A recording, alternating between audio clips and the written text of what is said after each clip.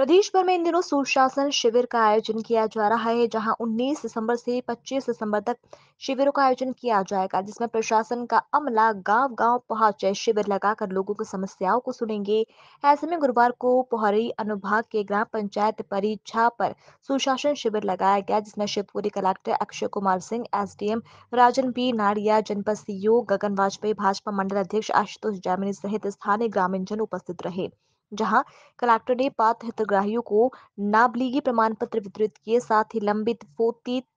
नामांतरण लाडली लक्ष्मी योजना के प्रमाण पत्र आयुष्मान भारत कार्ड वितरण किए साथ ही जन कल्याणकारी योजनाओं के बारे में ग्रामीणों को बताया गया। वहीं ग्रामीण जनों की समस्याएँ भी सुनी गई। पोहरी से धर्मेंद्र शर्मा की रिपोर्ट। हमारे फ़ूड इंस्पेक्टर और सभी हमारे अधिकारी कर्मचारियों के द्वारा सुशासन शिविर लगा करके लोगों को नाबालिगी जो थे इनको बिना आवेदन के इनके नाबालिगी काट करके इनको सभी को बाल के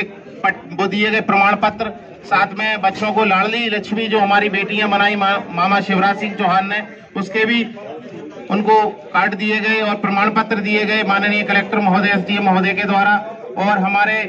जो बच्चे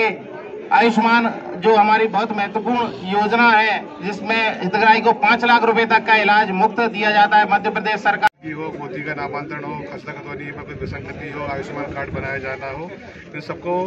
लाभ दिया गया यहाँ पर, जिससे कि जनता में काफ़ी अच्छा संदेश किया हुआ है और जनता काफ़ी चीज़ सराहना कर रही है क्योंकि घर बैठे इनको मुख्यमंत्री सेवा के तहत काफ़ी बड़ी मात्रा में लाभ मिल जाएगा और सुशासन के तहत जो काम किया जा रहा है, उसकी जनता ने बहुत बुज़ुर्ग प्रशंसा की है। मेरे साथ में मंडल अध्यक्ष भी बैठे हुए वो भी वापस बात धन्यवाद, आदरणीय हमारे मध्य प्रदेश की सरकार माननीय शिवराज सिंह चौहान जी के द्वारा मुख्यमंत्री जनसेवा अभियान के तहत ये पखवाड़ा मनाया जा रहा है। उसी क्रम में आज हमारे पोहरी विधानसभा के चर्च ग्राम में आज हमारे माननीय कलेक्टर महोदय सॉरी परीक्षा